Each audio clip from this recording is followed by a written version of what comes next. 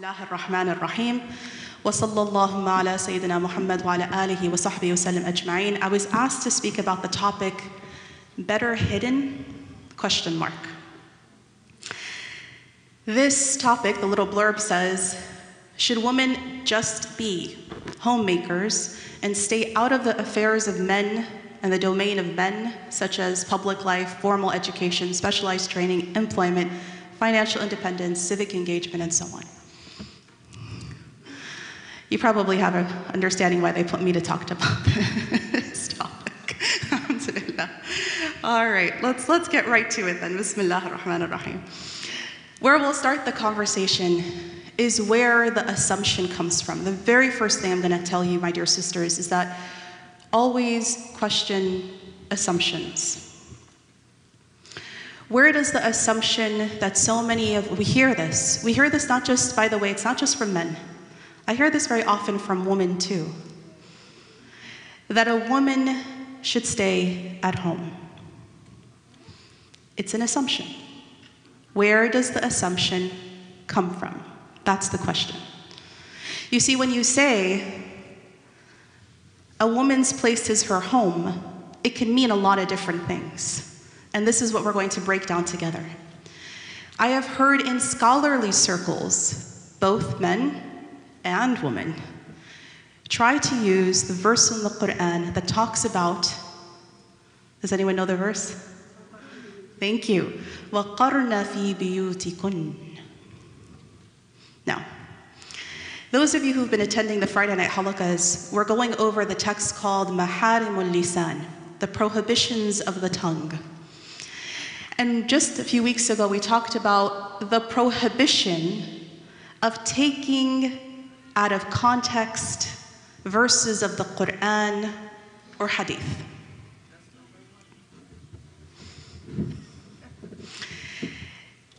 You see, the Quran was revealed in which it has multiple and heavy meanings. And even if you are a native Arabic speaker, you can't just open the Quran or even the body of Hadith and say, oh, I think it means this Even if that's what seems it like on the surface or seems like a literal explanation of the verse. You see, this ayah is ayah 33 in chapter 33, Al Ahzab. And it starts out, وَقَرْنَ فِي بِيُوتِكُنْ But it is right in the middle of a series of verses that come before it. See, context is everything.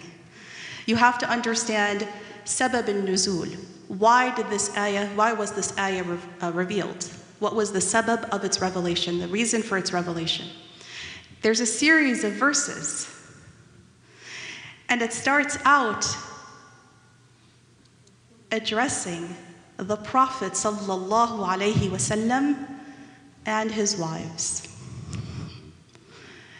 It's a series of verses that talk about at the way, you know, the, the point of it is Allah subhanahu wa ta'ala saying to the wives of the Prophet sallallahu alaihi wasallam that you, wives, are the mothers of the believers, you have a special place in Islam. You, uh, thereby, you have special rules that belong only to you. Furthermore, you have a choice. If you wish the dunya and the embellishments of the dunya, the Prophet can free you and you don't have to be his wife. But if you choose to be a wife of the Prophet wasallam, you have special rules that apply to you. If you want Allah and His Messenger, these are the rules. And this وَقَرْنَ فِي بِيُوتِكُنْ is embedded right in the middle of these verses because if you look even at verse 32, the verse right before it, and the verses prior to that too, they start out with Ya Nisa an Nabi. O wives of the Prophet. It's talking to specific people. And thereby, the rules are for a specific set of people, the wives of the Prophet. sallallahu alaihi wasallam. And it says, لَسْتُنَّ كَأَحَدٍ مِنَ النِّسَاءِ you are not like any other woman. Now, sisters, when people take something from the Quran and try to extrapolate it and apply it to everybody, you can see where the problem is. Let me tell you, in case anyone's still feeling a little like, well, hold on, isn't it supposed to be that we understand these are the wives of the Prophet? What about, and the mothers of the believers who have very special rules, even after the death of the Prophet? there's certain things they can't do, they can't marry anyone else. They are, they are there almost like an intensive um, training with the Prophet ﷺ to be the educators and teachers because they are the ones who are living directly with him. And they become the teachers of our ummah, right? So somebody might say, but wait a second. We thought that this was something that people often say a woman's place is her home, a woman's place. Where is it coming from? Now, we have different ethnicities here, so let me try something out. I've heard with my own ears people who are, and I don't want to, and please don't be offended by this, but these are true statements that I've heard. I've heard some Moroccan people say, and very similar statement, by the way, by many of our um, Pakistani community who will say something to the effect of, the woman only should leave her home twice. Have you heard this? She leaves her home, probably other ethnicities too, I'm sure. She leaves her home, her father's home, to her husband's home, and from her husband's home to the.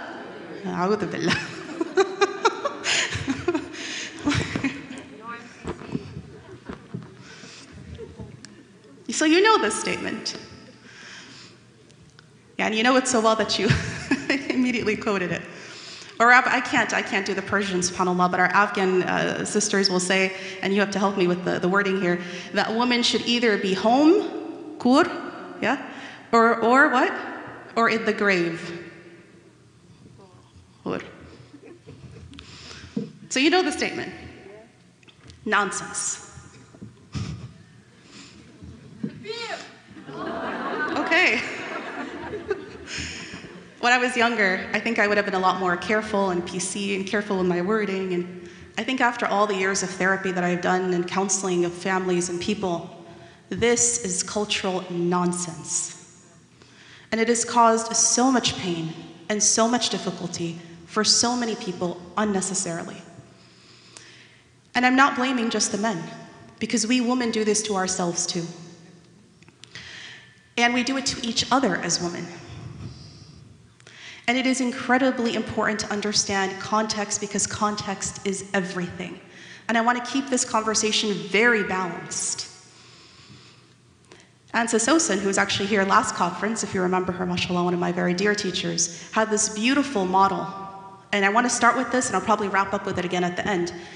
She calls it the circles of concern, your circles of priorities your circles of influence. Think of it as a circle within a circle within a circle within a circle, concentric circles. And at the core, if you really want to know your priorities, the core is what? Is your relationship with Allah subhanahu wa ta'ala. And nothing tops that. Nobody. Now, here's where people get confused. You see, there's a pre marriage set of circles and there's a post marriage set of circles. Because pre marriage, the circle right after your relationship with Allah subhanahu wa ta'ala is your relationship with your parents and your siblings, then comes your extended family, then comes your community, then comes your the ummah, then comes all of humanity.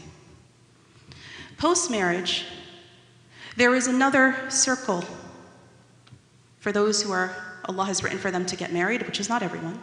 There's another circle that comes in and it kind of elbows out the circles a little bit.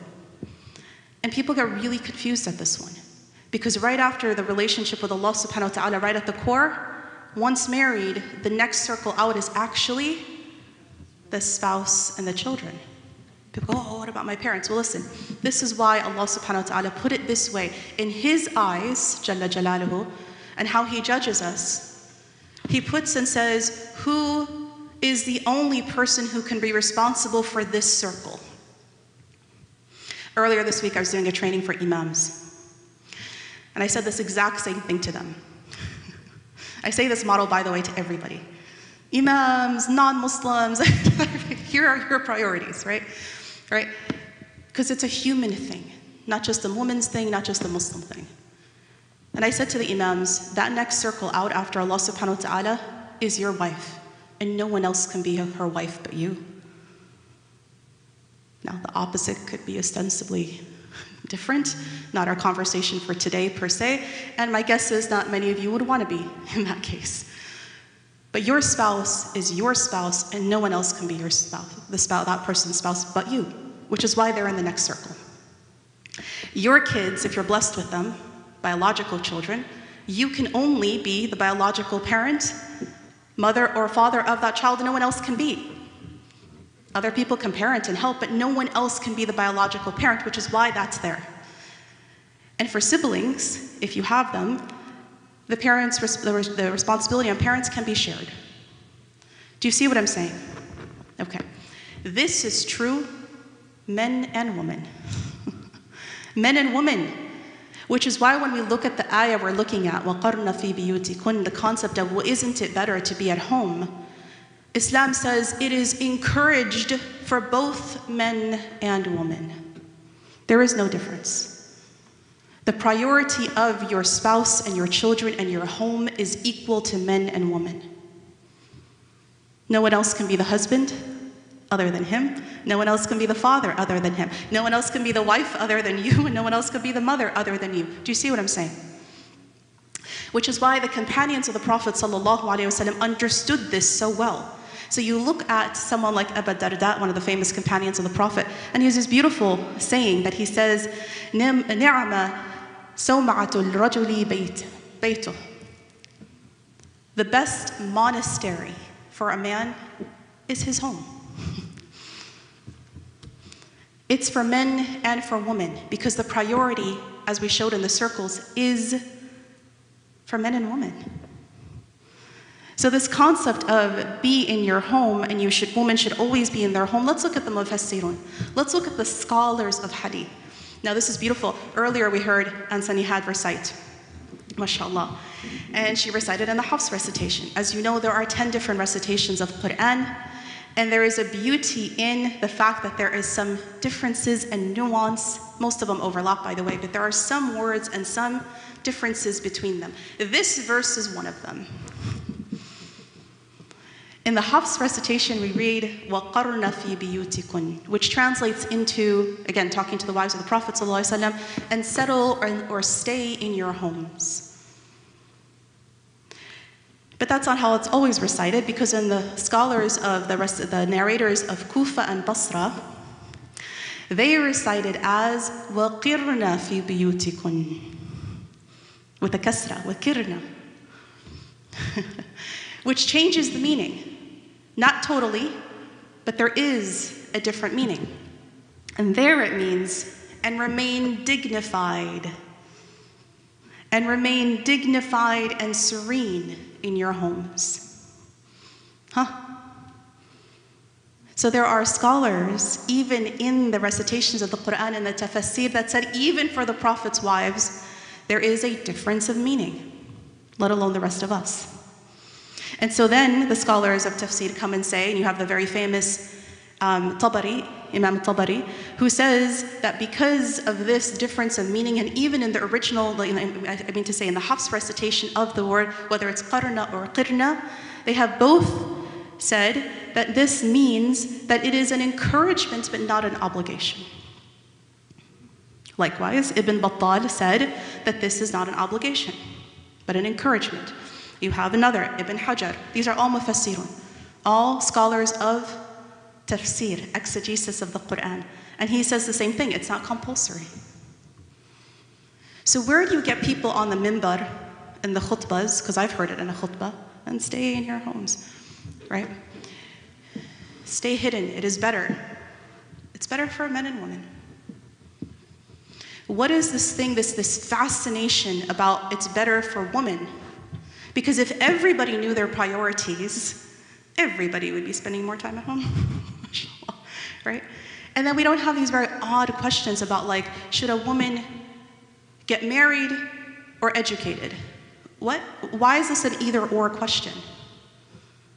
Why is it an either or question? Because that's not the tradition of Islam. That's cultural nonsense. MashaAllah. That's not the tradition of our noble predecessors, not of the women, not the Prophet's wives, our mothers of the believers, and certainly not of the Sahabiyat. You want stories of the Sahabiyat? Here, let's do this. Let's talk about some of the Sahabiyat quickly, mashallah, because you see what happens when we rely on knowledge of our deen. See what happens if a woman stays at home. I love this. One of the scholars said, if, a, if the woman really does is forced to be home, then she's not able to engage in society, learn and, and, and trade and finance and, and figure out knowledge and go and seek and come and travel. All the benefits of that are taken away. So you know what happens instead? Literally taken in the book, it says, she becomes petty. If you are not living a purposeful life, something with purpose and meaning to it, then life is just a chore, the chores of life, and it becomes petty. The conversations become petty. The conversations about what she wore and who got what purse and what shoes and what car and what, whose kid went to what school, and it starts to become very petty. Or even worse, yeah, I think that person on that show should have married that person, and that person, can you imagine this then ha- happened, and that happened, and this happened, and, and, and no, that bachelor should have married this, but who would have been what a garbage. I walked in the conversa- into a conversation like this the other day, and I was like, petty, petty, not purposeful. And yes, and maybe you call, call me harsh, fine, but it's petty, it's pettiness. What are you spending your time actually doing? I didn't ask you to be a scholar of Islam. But with the focus, men and women, of leading a purposeful life, there's no time for this nonsense. MashaAllah. Right? Look at the look, if you want let's let's now that we kind of question, now that we kind of question that assumption of that ayah about whether women should be home and hidden, okay? Now let's look at proof. Proof from the Sahabiyat. Let's look at directly at the time of the Prophet wasallam. Because sometimes when we talk about modern cases, they're like, ah, but what about, what about the Prophet's time? Okay, let's talk about the Prophet's time. Let's talk about one of my favorite, I don't have a lot of favorite stories, but I love the story of Khawla. Khawla bin Tha'laba. Do you remember the story of Khawla? I love the story of Khawla. So, Khawla bin Tha'laba is a very important companion, Sahabiya of the Prophet ﷺ. But the story I'm going to tell you here takes place as she's an older woman and it's at the time of the Khalifa of Sayyidina Umar. Okay? And she walks up to Sayyidina Umar, who's walking through the, with his, with his uh, companions, you know, the, the Khalifa, right, the, the Caliph of the Muslims, and she stops him. He's on his way for another meeting, and she stops him. And so he sees her and he goes to her and talks to her.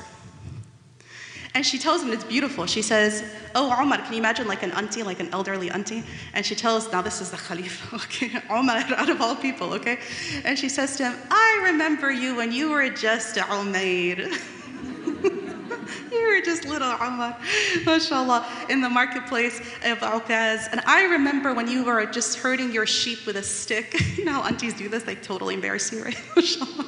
Okay, but here's you're some important person and they're totally embarrassing you. MashaAllah. And so, and then she says to him something very heavy. She says, Fear Allah in your role as Khalifa and taking care of people. And know that if you fear the threat of punishment in the hell in the hereafter, you'll realize that the hereafter is not that far away. And if you fear death, then know you're going to miss opportunities in this life. And you focus on the present and be careful with that responsibility of the people that you're in charge of. So she's giving him this advice, but this is the Khalifa Umar. So his companion says to him, You left and you got late for the meeting with a man to talk to this old woman? That's, that's what he said. That's literally what he said. So Umar says to him, Whoa! He literally goes, Woe to you. Do you know who this is? This is this is Khawla bint Tha'laba. This is the woman who, if she were to speak to me all day long, I would stand there. Unless it was a prayer time, I'd go and I'd come back and keep listening to her. Because who am I not to listen to her when Allah listened to her from the seventh heavens? And because of her complaint to Allah, Allah revealed verses in the Quran. What am I referring to?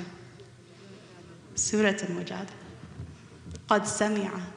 Allah has heard.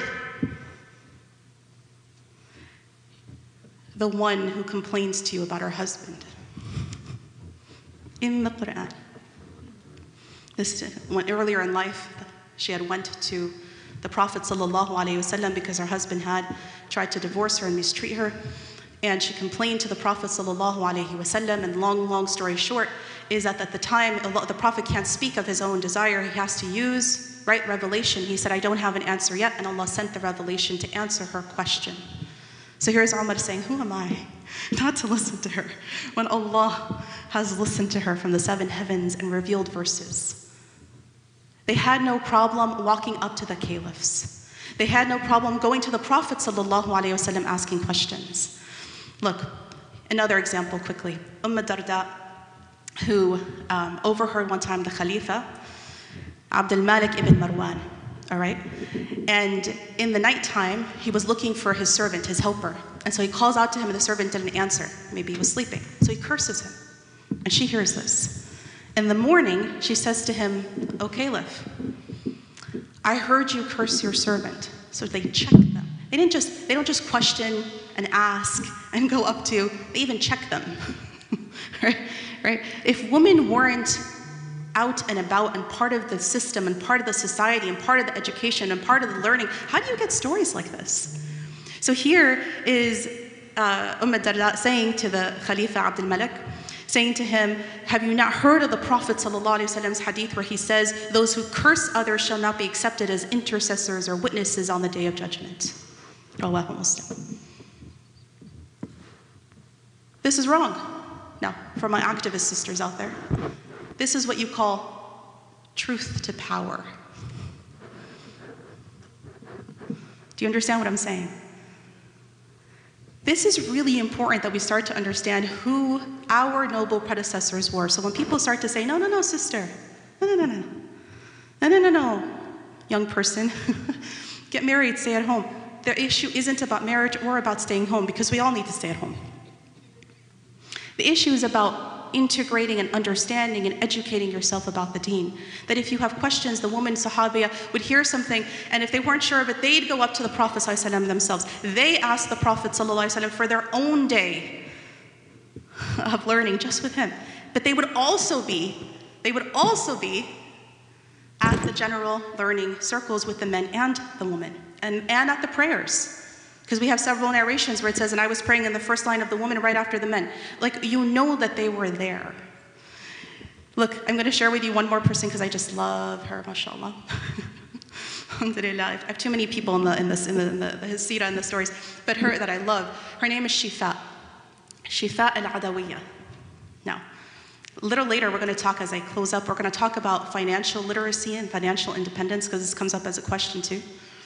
You tell me how you how in counseling, literally in counseling today, there are women who I'll ask them that there's tensions in the, in the marriage and the issues and financial issues, and I'll say, Do you have access to your own account? It's a joint account. Do you have access to the account? No. You don't know how much is in your joint account? No. You don't have a way of figuring no. Everything is blocked off. And I'm like, there is a real problem, an issue when women don't have financial literacy. This is something Allah has given you and as Muslims on a silver platter from the first day of Islam. Why do we let our cultures take it away from us? Oh, that's what they do back home. No, no, no, no. Garbage, nonsense. It's not Islam. How do you have Shifa al Adawiyah? Speaking of Sayyidina Umar, in the Khalifa of Sayyidina Umar, he appoints the first minister of finance of Islam. The very first minister of finance of Islam is a woman. And her name is Shifa al Adawiyya. Uh, Shifa is actually a nickname. Her name is Layla, originally Layla al Adawiyya. And they named her, they called, they nicknamed her Shifa. And she was given the role of all of the finances of the market. Now, when I say the market, do you understand what this means? You have to be able to go into the market you're dealing with men and with women. You're dealing with money and you're dealing with debts and bankruptcy. You're dealing, and then she had this role that if anybody didn't know the rules, no, get this, the rules of trade and finance in Islamic fiqh, fiqh al-mu'amalat, the fiqh of transactions, in the section of the financial, uh, this is, we, we would, as fiqh students, we would call this chapter the headache chapter. because there's so many complicated rules that wallahi yani, mashallah. And so here, the most faqih, the most knowledgeable of this topic of finances was a woman. And he appoints her this role, and it said she would go into the market, and if she saw anybody who didn't know, men or women, who didn't know the rules well, or was trying to scam somebody, or was trying to, you know, cheat, or just didn't know the rules, she'd kick him out of the market. And under her leadership, the finances, the treasury of the Muslims expanded greatly. Now, is someone going to question the wisdom of Umar? That he puts a woman in this role and puts a woman in the marketplace and knows who's best suited for the job? Yet we can't even get women on our masjid boards, let alone be the treasurer of the boards. Okay, mashallah. now, somebody could say, okay, you started the ayah about qarna fi biyutikun and the wives of the Prophet wasallam. Does that just mean that they're home? I want to clarify this point in case anyone was confused by it. I, we don't, if we had time, we'd go into all the different wives of the Prophet, but let's just say one. Let's use one, maybe one that we don't speak of uh, frequently, Umm Salama. Okay? You have Umm Salama, for example, who we know not only was she present in a lot of everyday matters, but the wives were also present in the battles. They didn't just stay home. They were always part and parcel of the Muslim society. And so Umm Salama, one time there's a story about her where she's, she's doing her hair and they hear the call out for the, the Prophet calling out for people to come and listen. And so she says, so she says to her helper, she says, I'm gonna go. And the helper says, No, no, he's calling the men. He says, No. She said, No. The call said, All people. I'm a person. I'm going out to see what the Prophet said. And so she goes out and she listens, and the Prophet that day was talking about the hawd, the pool, right? And, and, uh, and later, what's interesting about the Prophet's wives, salam, is that, um, uh, you know, alayhin, is that they would, is that they would learn the same lesson that the Prophet said publicly later in their homes. Like he would give them their personal lesson. Remember, he was training them to become our teachers. So she was going to hear this again later, but she wanted to be out there in the fabric of society.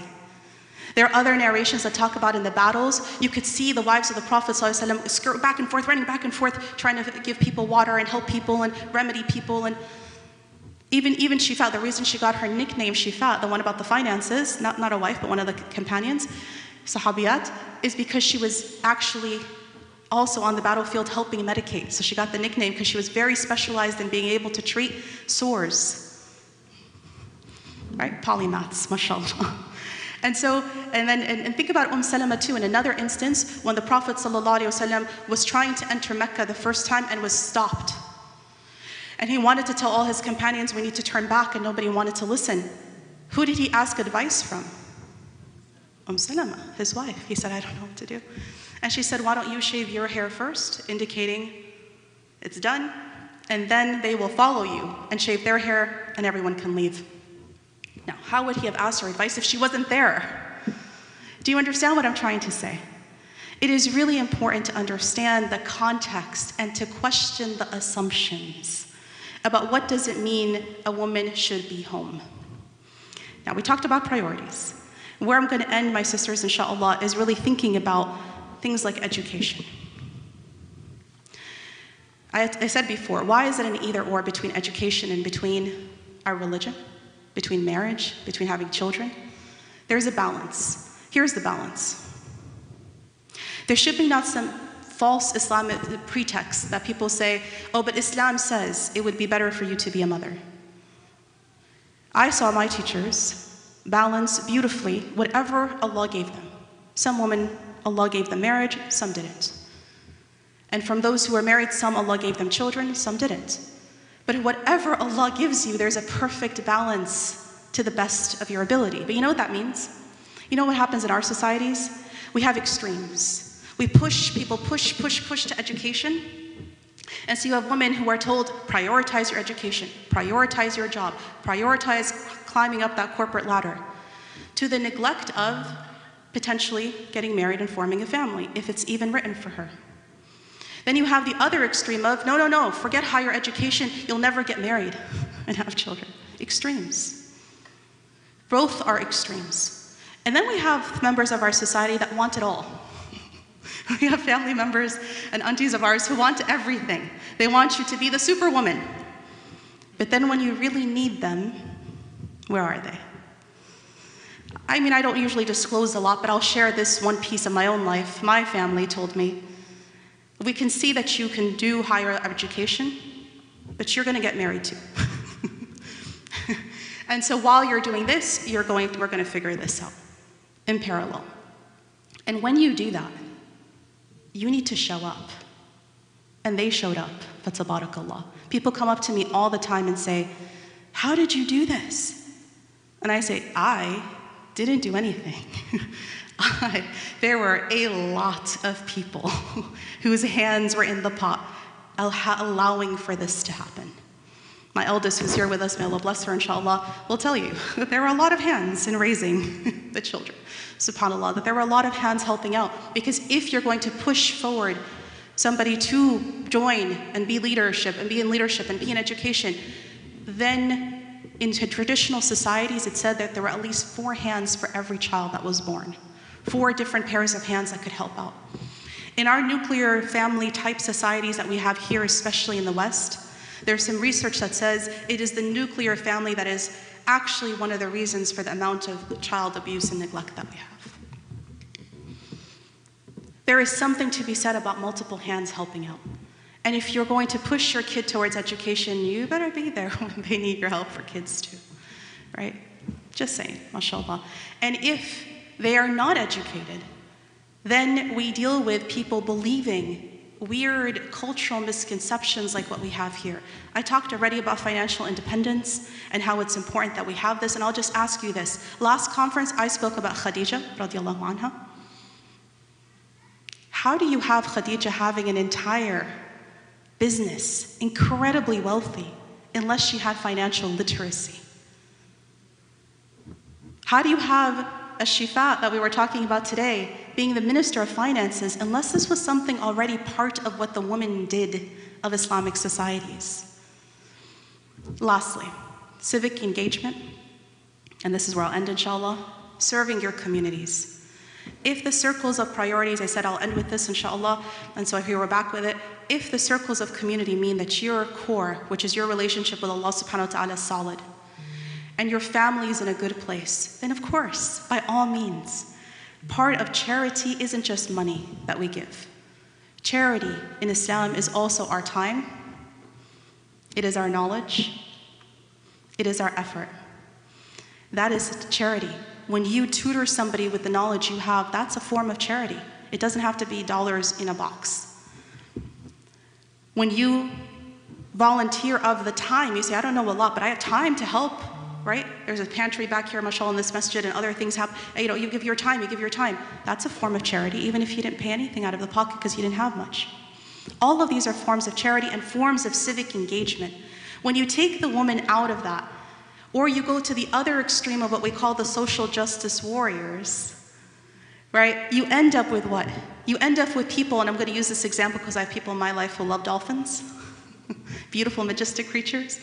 But they're all about save the dolphins. And their house is a wreck. Save the dolphins, and for the younger people, your room is a mess. This is a lack of understanding our priorities. It can't be one extreme or the other, mashallah. And lastly, our yardstick, my worry about civic engagement and people going into you know, social justice type work is people jump on a bandwagon of anything and everything that's happening today, even if it doesn't apply to us. We have a yardstick that we measure things by, and that's called the Sunnah of the Prophet. If that cause out there fits with Islam, by all means help. And if it doesn't, you have no business in that. Sheikh Sharawi said this beautiful statement, and some of you have been in my halakas have heard this before because I love it. And he says that mankind has been in darkness, and Allah gave humans the ability to try to figure out light. So somebody figured out a candle, and that was the amount of light they were able to bring. The next person figured out electricity, and so they created a light bulb. So more light and more sustainable light. The next person said, let's put multiple light bulbs on a chandelier. Ah, more light. Now you have lights that are so powerful. When you think of a stadium, athletic stadium at night, playing a game at night, right? It is so bright in that stadium, right? When you're in it, it feels like it's daytime. That's how bright it is. So different people have been able to get different amounts of light depending on the gift Allah gave them. But when the sun comes up in the morning, you literally have to squint to see whether that stadium, powerful stadium lights are even still on or not. The sun is like the Prophet ﷺ in his sunnah. It outshines everything and anything that's man made and that humans came up with. And so we have a yardstick, it's called the Sunnah of the Prophet. ﷺ. If your civic engagement falls within it, Alhamdulillah. And if it doesn't, toss it out. And so I hope, inshallah, as we talk about this and really talked about the different facets of a woman being hidden or outside or inside, we understand some core things. We all need to do better in our homes. We all need to do better in our priorities. And inshallah, this is inspiring to really help us move forward. Barakallahu fikun. Forgive me for any mistakes. May Allah subhanahu wa ta'ala help us and preserve us and really make us from the type of women who understand our priorities because it is with that that Allah gives us the barakah and the tawfiq, the success to really be able to do well. Thank you so much. Assalamu alaikum wa rahmatullahi wa barakatuh.